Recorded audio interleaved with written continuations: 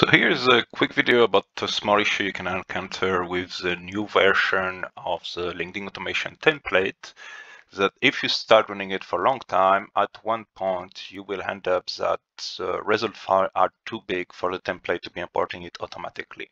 And then you will basically have to do some manual import of this file. So it's marked that you have this cross here. That means that there's an error here. And what you need to do is basically to download this result file. So if you just download it, it's automatically download it. And you will need basically to manually import it in the sheet which should be containing this data. So you can access it if you go to view, hidden, you have there like the list of the different um, sheet which are actually storing all the data of your automation and they are in order. So profile extractor is the one which is on step one here. So LinkedIn export. Network booster is a step two, so the one which has an error.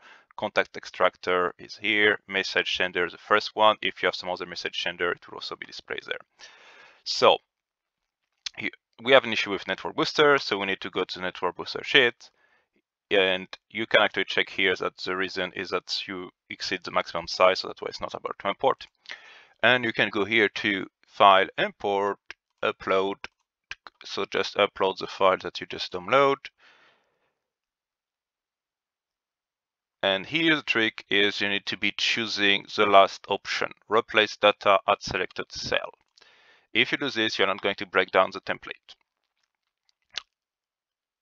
It's importing and you can still see those in the statistics here once it would be updated so that's basically a process to handle this error when the file is too big. Uh, issues you will have to do this like quite often once a day, So it's better practice to actually keep your LinkedIn export relatively small and run basically small campaign. Uh, this approach is also interesting once you are done running your campaign and you want to be saving the results. Because let's say you are done running this campaign, which is using five Phantom you want to reuse those phantom for some other campaign.